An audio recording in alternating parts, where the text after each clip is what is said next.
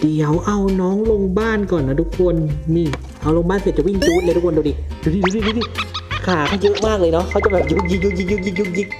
นี่ทุกคนน้องจะอยู่ในนี้ นี่ดู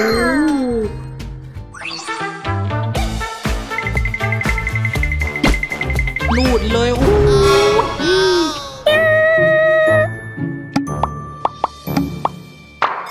ดีครับทุกคนยินดีต้อนรับทุกคนเข้าสู่ช anel ทอมพิเตอร์จ้า วันนี้ท็อปจะพาทุกคนมาสร้างบ้านใหม่ให้กับน้องไอโซพอดกัน นี่เลยทุกคนแทนแทนชุดสร้างบ้านนะ โอ้โห ดูดิทุกคนเราจะต้องมาก่ออิฐแล้วก็จะมีหลังคาแบบเนี้ย แล้วก็เป็นบ้านแบบสองชั้นด้วย แต่ว่าเราต้องทำเองทั้งหมดเลยนะโอ้โหเขาบอกว่ามีชิ้นส่วนทั้งหมด 122 ชิ้นที่จะก่อมาเป็นบ้านแบบนี้ อย่างเยอะเลยทุกคน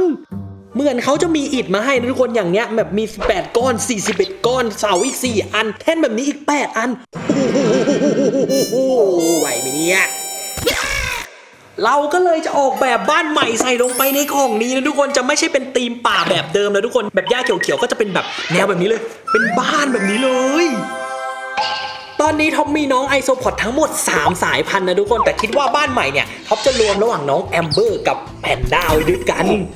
กล่องนี้ก็คือน้องแอมเบอร์นะทุกคนแต่ก่อนนี่คือแบบมีเต็มกล่องเลยแต่ว่าเราแบ่งเลี้ยงแล้วก็ไม่ได้แบ่งเลี้ยงนี่แบ่งให้คนอื่นเลี้ยงแล้วก็แบ่งขายไปด้วยนะทุกคนประชากรก็เลยลดลงแต่ก็ยังเยอะอยู่นะอุ้ยน้องจะขี้อายนิดนึงดูดิดูดิน้องมุดไปแล้วอะทุกคนเดี๋ยวท็อปหยิบขึ้นมาให้ดูนะ แบบหยิบแบบเบาๆจึ๊บนี่พอแล้วน้องตกใจน้องจะเป็นแบบนี้ทุกคนดูดิจะเป็นแบบลูกกลมๆแบบนี้เห็นไหม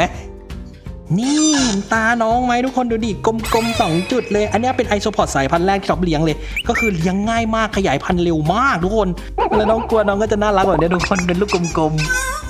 ๆแกล้งน้องดีกว่า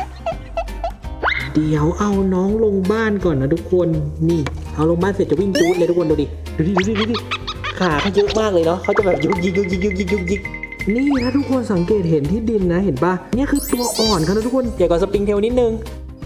ทุกคนต้องดูแยกกันนะ ตัวที่วิ่งสีขาวๆวิ่งเร็วๆอะตัวนั้นคือสปริงเทลก็คือแม่บ้านที่กินกัดกินแบบเชื้อราในบ้านของน้องนะทุกคนส่วนตัวนี้ที่เดินแบบช้าๆขาเยอะๆอันนี้คือไอโซพอดแต่ว่ายังเป็นลูกอยู่ตัวนิดเดียวเองเนี่ยทุกคนเขาจะพยายามแอบอยู่ตามมุมหลบอยู่ตามไม้อะไรอย่างเงี้ยแบบมุดมุดๆอะมุดมุดๆฟิวมุดมุดส่วนกองนี้นะทุกคนน้องแพนด้าอยู่ แต่ถ้ามองจากมุมนี้นะทุกคนมองไปไม่เห็นมีน้องแพนด้าเลย แต่ท็อปรู้ทุกคนว่าเขาซ่อนอยู่ตรงไหน อยู่ตรงนี้นี่ทุกคนมาดูดิ นี่ทุกคนน้องจะอยู่ในนี้ นี่โอ้โหอยู่ตรงนี้เต็มเลย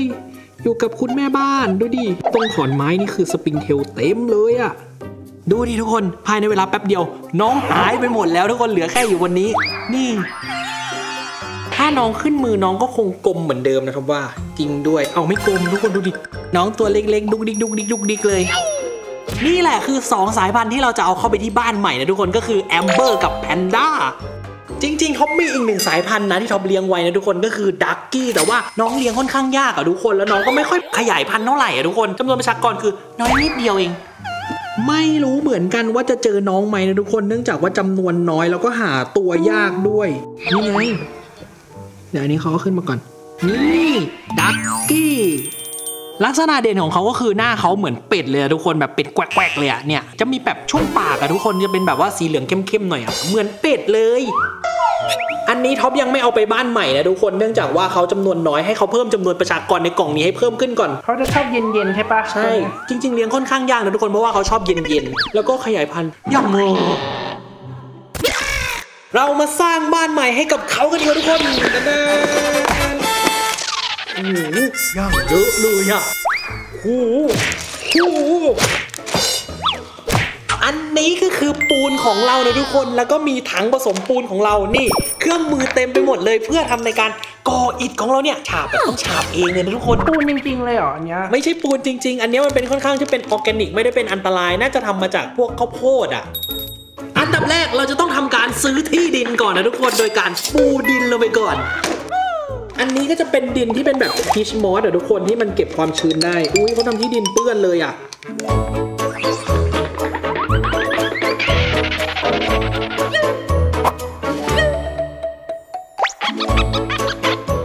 นี่คือที่ดินที่เราซื้อให้ไอโซพอด100ไร่นะทุกคน ขั้นตอนต่อไปเราจะทำการก่ออิฐสร้างเป็นตัวบ้า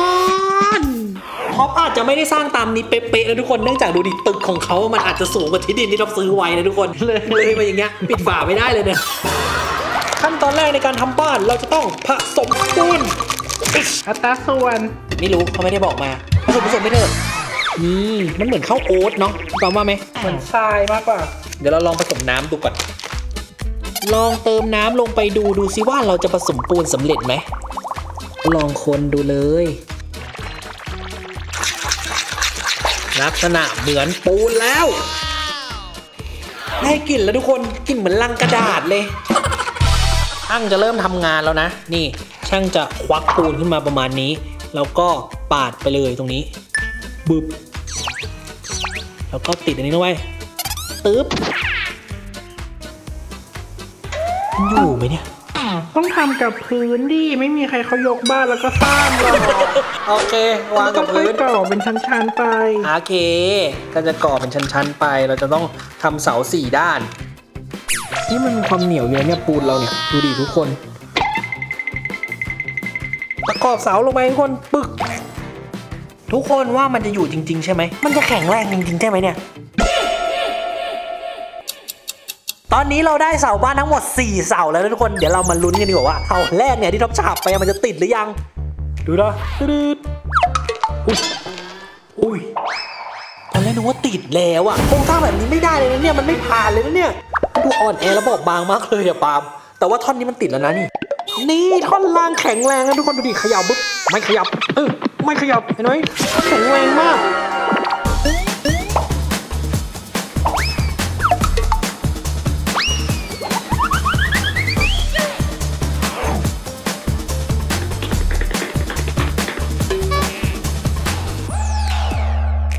เดี๋ยวเราจะต้องติดหลังคากันฝนด้วยนะทุกคนแต่ว่าเราจะต้องใช้ปริมาณปูนที่เยอะมากในการยึดเกาะทุกคนว่าหลังคาจะอยู่ไหมอะปึ๊บกดหลังคาปึ๊บไม่กล้าปล่อยมืออะกลัวหลุดอะ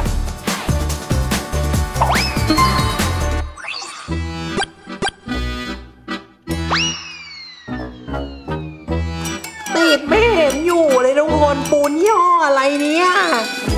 มอะมันไหลหมดเลยเนี่ยดูดิกระบุ้งกระเบื้องไหลนี่น้ำหลังคารั่วแล้วก็น้ำหยดลงไปนี่คือน้ำเข้าบ้านนะบ้านพังนะเนี่ย ต้องใช้เสาค้ำยันด้วยได้ไหมแบบค้ำยันอย่างเงี้ยอืมตายเละบ้านอะไรเนี่ยนี่แบบนี้ก็สวยดีนะเหมือนบ้าน จีนจีนคนไม่ใช่แล้วมันเหมือนบ้านจะพัง ระหว่างนี้ท็อปจะพักตัวบ้านไว้ก่อนนะทุกคนท็อปจะมาทำ backdrop เป็นกำแพงอิฐตรงนี้เผื่อ isopod จะมาแบบเซลฟี่อ่าเป็นมุมเซลฟี่ๆจุดถ่ายรูปใช่จะถ่ายรูป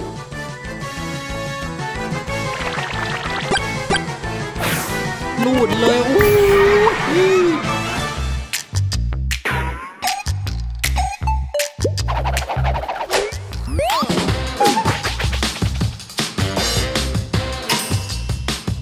อไปนะทุกคนเราจะทำการล้อมรั้วทุกคนว่าล้อมรั้วดีไหมเนี่ยรั้วแบบเนี้ยเนี่ยดีนะเผื่อแบบแพนด้ากับอันนั้นเขาอยากจะอยู่กันคนละแบบเขาจะแบ่งแยกกันเหรอ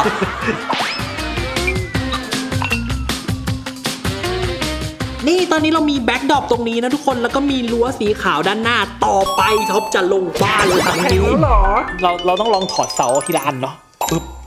ฟึบฟึบฟึบทุกคนว่าแข็งแรงไหมเขาจะยกแล้วนะเฮ้ยเฮ้ย ต้องรออีก 15 นาทีให้มันแข็งนะทุกคนเมื่อกี้มันจะหลุดเฮ้อต้องหยิบตรงนี้ตรงแบบเสาที่แข็งแล้วหรือเปล่าอย่างนี้เหรอ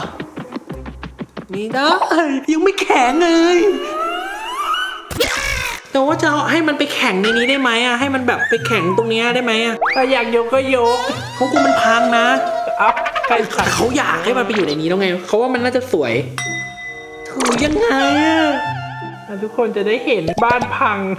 อุ้ยทำไม่ได้ทำไม่ได้หรอก มันยากไป เทลงไปอย่างนี้เลยได้ไหมเนี่ยแล้วจะรีบเอาเข้าไปทำไมอะเขาอยากเห็นมันสวยแล้วนี่ เออถ่านหลุดอะพังหมดแล้วมั้งเนี่ยก็รีบอะใจร้อนอะหรือว่ามันจะแข็งไปเท่านี้เหรอ ไม่แน่ใจอะคุณ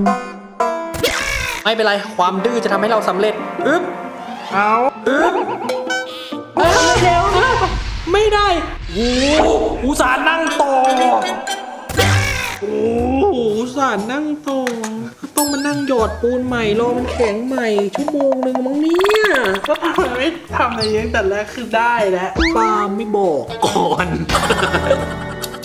เนี่ยตอนเนี้ยบ้านของไอโซพอดมีทั้งตัวบ้านนะทุกคนแล้วก็มีรั้วสีขาวแล้วต่อไปเนี่ยท็อปจะทำ glass house นะทุกคนนี่ แล้วก็มีนี่ท็อปจะทำให้มันเป็นแบบมีพื้นที่สีเขียวด้วย แล้วก็มีโพรงอันนี้เป็นโพรงไม้ มันเป็นท่อนไม้แบบนี้นะทุกคนแล้วก็ตรงกลางมันจะมีรูแบบนี้ตึ๊ดตึ๊ดตึ๊ดอ๋อบ้านโพรงไม้เหรอใช่เป็นบ้านโพรงไม้นี่มาตกแต่งกันต่อดีกว่า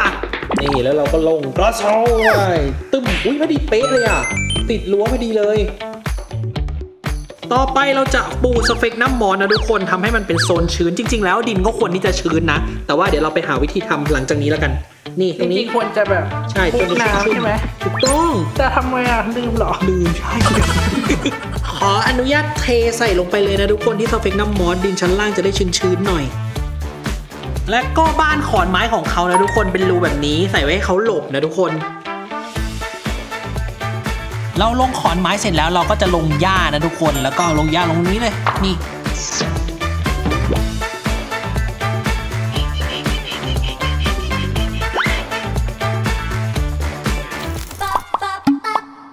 ทุกคนและนี่ก็คือบ้านใหม่ของไอโซพ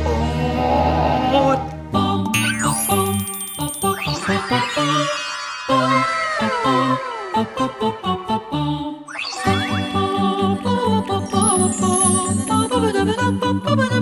เสร็จเรียบร้อยแล้วทุกคนให้ feel concept เหมือนแบบเหมือนบ้านร้างกลางหุบเขาไว้แบบไว้แบบฝึกวิทยายุทธเลยแบบเฮ้อแล้วทุกคนเขาก็เลยปิดไฟแบบสร้างบรรยากาศเปิดไฟดวงเดียวดูดิมาเดี๋ยวเราย้ายเด็กๆเข้ามาในบ้านหลังนี้ดีกว่าทุกคนเป็นผู้กล้าทั้งหมด6นาย เอาแพนด้า 3 แล้วก็แอมเบอร์3เนาะเราเลือกแพนด้า 3 หน่วยตัวใหญ่ ๆ เลยนะทุกคนไปฝึกวิชากังฟูเอาน้องลงตรงนี้แล้วกันทุกคน ไม่ใช่ลงรูนะ เขาว่าเอาลงมือก่อนดีกว่าปาล์มแป๊บนึงนะ นี่โอเคโอเค ลงเลยครับ แพนด้าไม่ค่อยกลัวนะไม่ค่อยม้วนตัว ใช่แพนด้าไม่ค่อยกลัว แต่ว่าเราจะเห็นแพนด้ายากมากเพราะแพนด้าชอบหลบเนี่ยปึ๊บเขาว่าเขาหยิบลงทีละตัวเลยดีกว่าหนึ่งดูเร็วมากสองหายไปแล้วแน่ๆ ใส่ปุ๊บ หายปั๊บ เขาเริ่มฝึกวิชาตั้งแต่ลงไปเลยทุกคนเป็นวิชาพรางตัว ทุกคนดูสิปล่อยลงไป 3 ตัวตอนนี้ถ้ามองจากมุมบนมันคือหายไปแล้ว หาไม่เจอแล้วเพื่อนน้องหมุนอยู่ใช่เดี๋ยวเดี๋ยวอีกสักแป๊บนึงก็จะหายไปแล้วต่อไปเราจะคัดเลือกผู้กล้าแอมเบอร์ทั้งหมด 3 หน่วยลงไปในบ้านใหม่นะทุกคน อย่างละสามเองเหรอ ใช่อย่างละสามแล้วถ้าเป็นตัวผู้หมดตัวเมียหมดอย่างนี้ก็ไม่ได้เพิ่มประชากรดินะแพ้ไง แพ้ไง เพราะว่าประชากรน้อยกว่า เอา เดี๋ยวเราค่อยมาดูกันนะทุกคนว่าสุดท้ายแล้วใครจะมีประชากรเยอะกว่ากัน โดยที่เราปล่อยลงไปอย่างละ3นะทุกคน นี่คือผู้กล้าแอมเบอร์3หน่วยที่ข้าคัดสรรมาว้าฮ่าฮ่าฮ่าดูสิ เจ้าเป็นคนขี้กลัวมากเลย ตัวกดกันเต็มเลย เขาว่าเหมือนเดิมอะใส่มือเขาดีกว่า เขาจับลงไปทีละตัวดีกว่า ง่ายกว่าเยอะนี่ให้อยู่แถว นี้แล้วกันสองไออยู่ฝั่งป่าดิบชื้น ใช่ปุ๊บนี่ คนดีวิ่งไปแล้ว ดูดิ วิ่งไปแล้ว หายไปแล้วหนึ่งเขาเหมือนเขาก็ค่อนข้างที่จะขี้อายนะทุกคน เขาเริ่มหาที่ซ่อนตัวกันแล้ว เดี๋ยวพาน้องไปจุดอื่นก่อนนะทุกคนลืมดิดสเฟงน้ำมอสมันเปียกไปนะครับว่า เอาไว้ตรงนี้ก่อนนี่ เอาไว้ตรงนี้ เอาลงไปที่ glass house ตรงนี้ก่อนสองแล้วก็คนสุดท้ายสามโอเคอุ๊ยน้องไต่เก่งมากเลยอะ น้องเหมือนสไปเดอร์แมนเลยอะทุกคน อะกลับมาที่เดิมอ๋องงเลยใส่ไอ้ชอบชื้นๆนะ โอเค ทุกคนคลิปนี้ก็ไปแล้ว เดี๋ยวเรามาลุ้นอันอีกทีนึงว่าประชากรใครจะเยอะกว่ากันนะ อีกประมาณเท่าไหร่ดีบัมสามเดือนสามเดือนแล้วใช่ไหมเจอกันใหม่ในคลิปหน้าทุกคนถ้าใครชอบคลิปนี้ก็อย่าลืมกดไลค์กด subscribe กดติดตามแล้วก็อย่าลืมกดกระดิ่งนะเจอกันใหม่คลิปหน้าบ๊ายบายจ้าสามเดือนสามเดือนน่าจะเต็มกล่องได้อยู่เพราะว่ารอบแรกที่เราแบ่งไปเยอะๆอะใช่มันก็แบบนานอยู่นะ นานอยู่นานอยู่